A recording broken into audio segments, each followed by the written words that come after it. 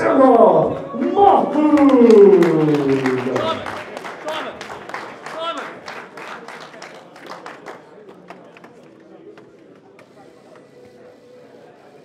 One twenty-four nine.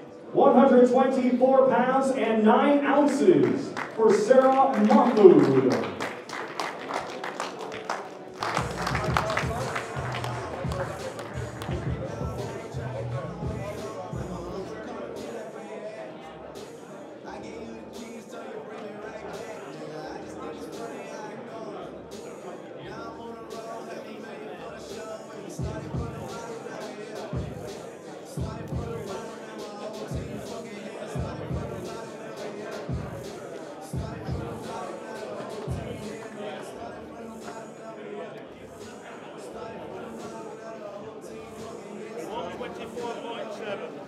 124 pounds and 7 ounces for Amanda Serrano.